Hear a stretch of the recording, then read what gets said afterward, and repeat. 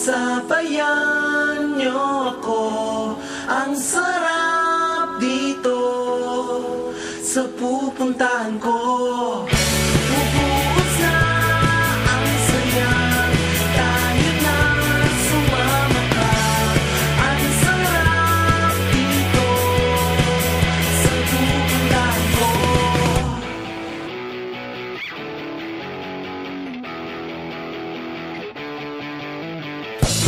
someone